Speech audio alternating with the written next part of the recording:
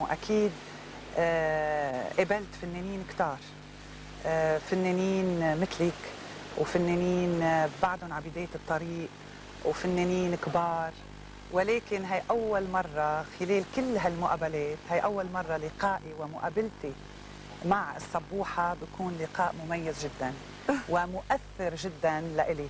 لأنه اليوم لقائي غير اللقاءات اللي عملتها والمقابلات اللي عملتها.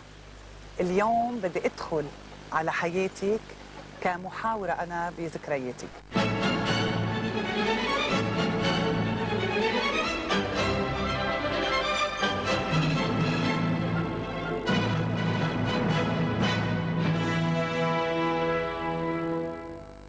الحلقة الماضية وصلتي لمطرح إنه بدك تدشني حفلة تدشين بنيتك إيه. وبهالحفلة بالذات تم التعارف لأول مرة مع جو حمو.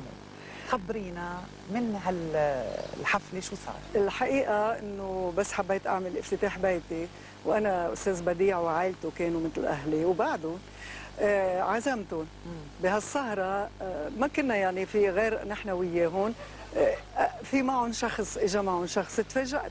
فقال لي أستاذ بديع المغترب جو حمود وإنسان يعني مهم أخذني هيدا. قلت له أهلا وسهلا ضيوفك ضيوفي والبيت مفتوح وهيك. فقعدنا كان جو كتير دمه خفيف ليلتها. وفهمت من بديع إنه مقرش كمان وحالته. منيحه ونحن الفنانين بنتعذب كتير لنقدر نشتغل ونعيش صح. وهيك صح. يعني إنه مش مهم الفلوس بس إنه نعم. تأهلت فيه وعرفته مهم.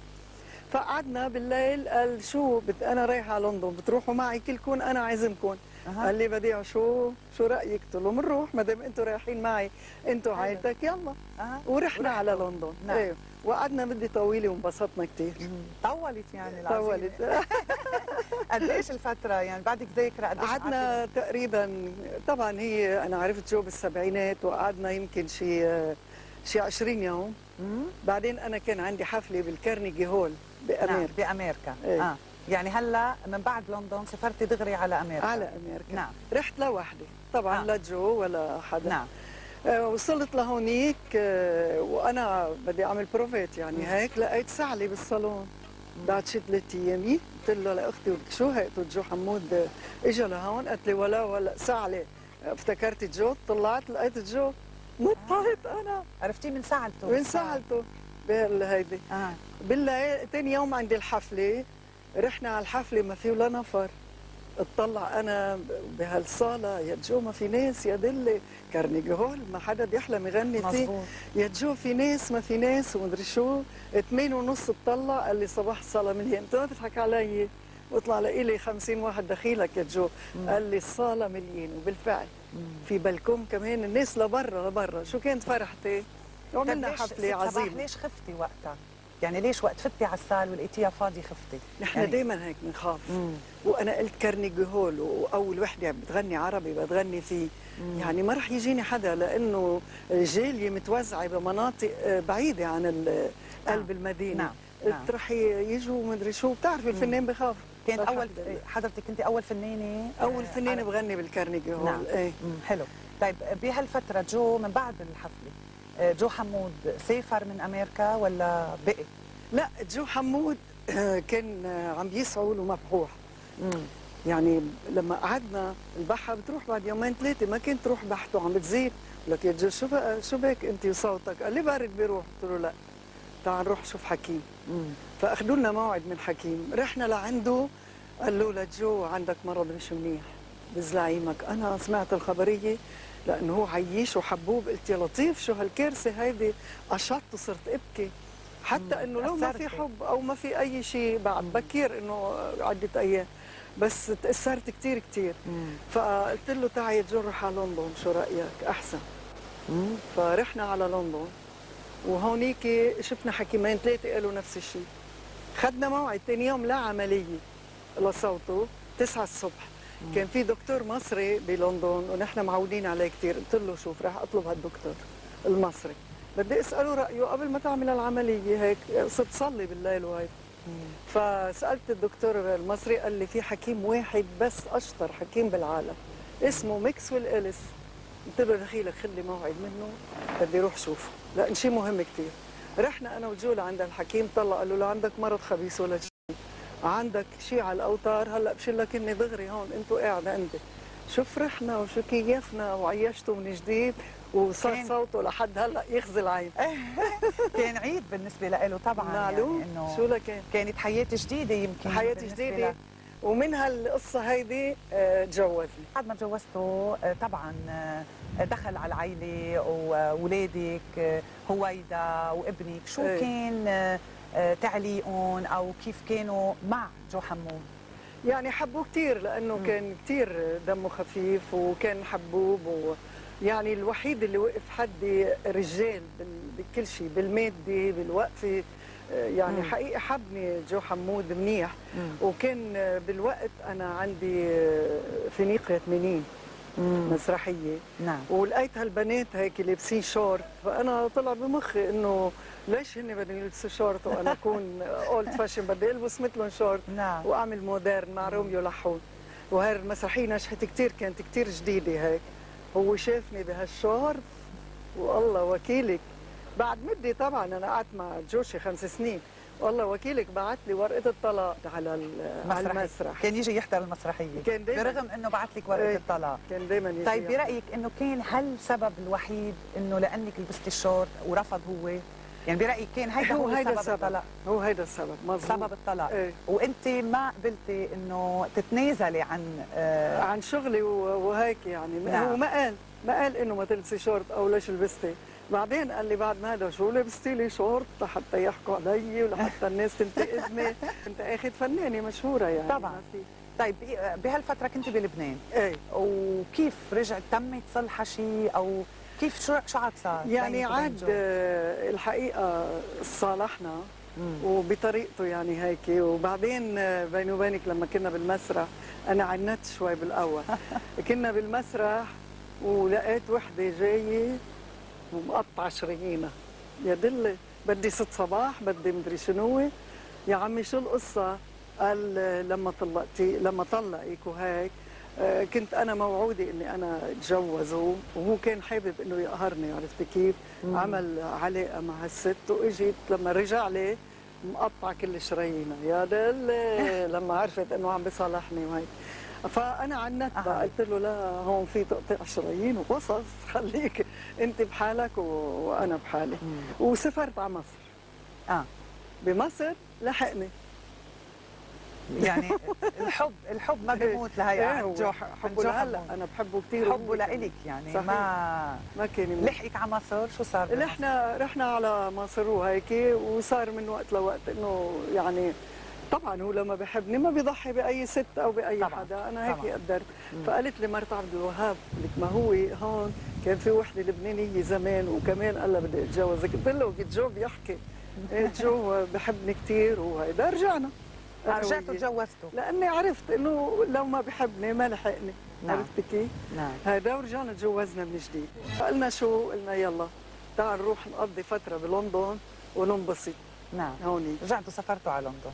نعم. سافرنا على لندن. مم. بلندن قلت له بدل ما تدفع أوتيل وهيدا خلينا ناخذ شقة. أخذنا شقة. قلت له خليني أجيب بنتي. مم. الله يخليك وهيك. وجيب أختي سعاد. وأنا بنبسط معودة عليهم وبنتي تقبرني إلى زمان ما شافتني. قال طيب. ف بعتنا جبناهم ورحنا على المطار. لقينا هويدا نازلة معها كلب. هذا برجع الماء يعني شيان له إيه كبير كبير كثير آه. قال لي شو هيدا؟ هو دمه خفيف. قلت له بنتي شايفة كلبة مع قال ابدا. ترجع لبنان؟ أنا كلاب ما بدي. هونيك لازم ينكتب ال- الكلب باسم العائلة. بأي اسم بدك سميه وأي مدري شو؟ قلت له مش مهم هلأ لينزل بنشوف بنسأل وشو التفاصيل؟ قال بده يقعد بالكارنتينا ست اشهر قلت له حلت. ست اشهر بده يقعد قبل ما يفوت على لندن. آه. هيدي قصه انحلت إيه. شو بعد بدك؟ ما زعلت هويدا؟ لا مجبورة بدها إيه طبعا. فرحنا قعدنا بهالشقه كلياتنا سوا. وأنا كان عندي حفلة مهمة جدا هونيك بأكبر مسرح Drury Lane Theatre وقلت يمكن عرضوا لي حتى هيدي ال- القصة ب 60 Minutes بأمريكا. آه. فجبناه هون وراحت سهرت هي والفرقة هويدا هون مطرح.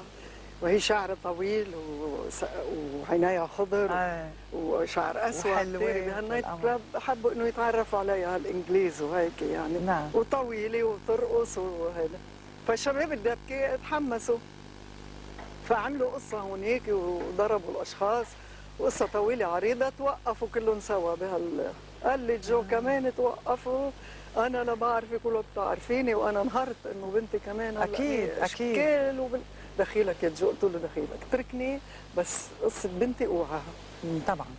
تيجي بنتي على البيت أنت إلك معارف هون. أنا بدي أتبهدل. الله يخليك ما تخليني أموت وهيك. حرد له كم ليلة آه، ينام لوحده بالأوضة. أنا لوحدي وهيك بالآخر.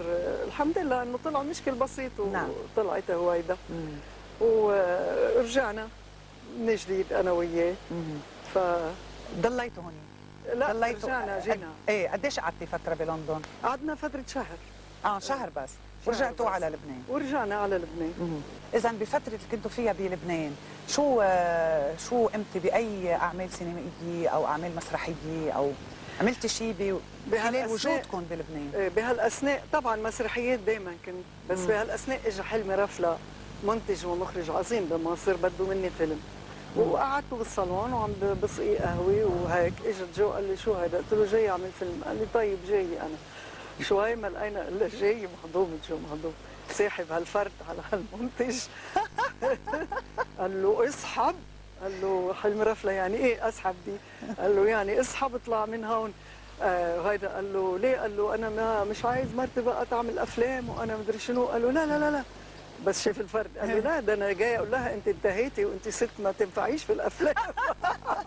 غير فكره غير فكره. قام ضريك من الباب. طيب برأيك آه، جو كان يغار كثير أكيد جو حمود. يعني من خلال اللي خبرتينا إياه آه، عن ذكرياتك مع جو حمود كان يغار إيه كان يغار. كثير إيه. طيب آه، عودتك له مثل ثاني كل مرة؟ رجال مش إنه طبعاً. ببالي إيه. بس عودتك له ثاني مرة. ما كنت حاس بهالحساب إنه يمكن يحد من أعمالك الفنية أو من نجوميتك أو إيه بلا؟ بلا بس إنه بضل قلبي يحن عرفت جو طيب آه وهيك وإنسان وكان حد عظيم وبحبك. إيه وبحبني نعم. بعده لهلأ. حتى مرته يعني بتقول لي أخذ ست كثير كويسة اسمها صباح كمان حتى عادل عسيران بوقت من الأوقات لما كان جو تعب بقلبه عذبته أنا وهيك قال له كيف بدك تعمل عملية؟ الرئيس عادل عسيران لجو كيف؟ قال له لا إذا بدي أضطر أعمل عملية بدي خلي الميله اللي فيها صباح. حلو كثير حلو إيه، كثير يعني. الحب كان معلوم. مهم مهم. من جو لإلك قديش قعدتوا الفترة؟ قعدنا شي خمس سنين. خمس سنين. إيه. طيب جو كان نايب بوقتها؟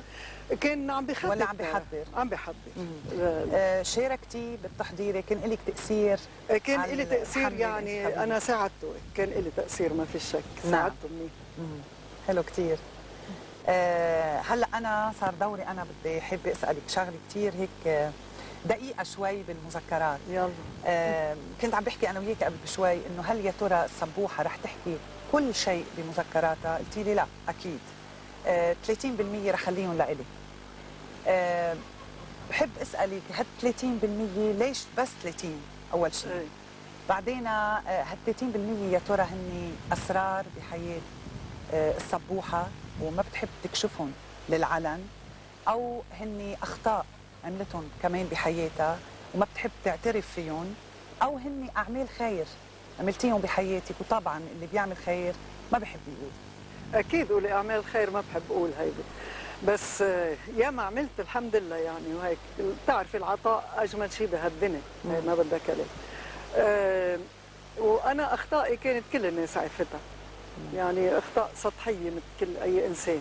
أصلا ما في إيه. إنسان إيه. من دون أخطاء ولكن. هال 30% برأيك بيدخلها شوية أسرار؟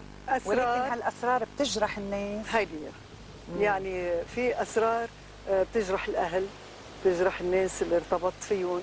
هو بتركهم لنفسي. لاني أنت عارفة أنا عشت آه، لي شي 50 سنة فنانه عم بشتغل بهالفن ما حبيت أجرح حدا بحياتي. فمش رح إجي هلأ كمان آه، جرح عم بحكي الأشياء اللي بتهم الجمهور. نعم. شيء. برأيك إنه الجمهور هل هل يمكن ال 5% اللي تاركتيهم لإلي؟ برأيك إنه ما بهمون؟ بهمون بس حتى الجمهور. بهمون كثير إيه بس حتى الجمهور لما بيقعد معي بيقول نحن سعداء جدا بدك تقولي قصة حياتك بس بنعرفك آه، ما بتجرحي.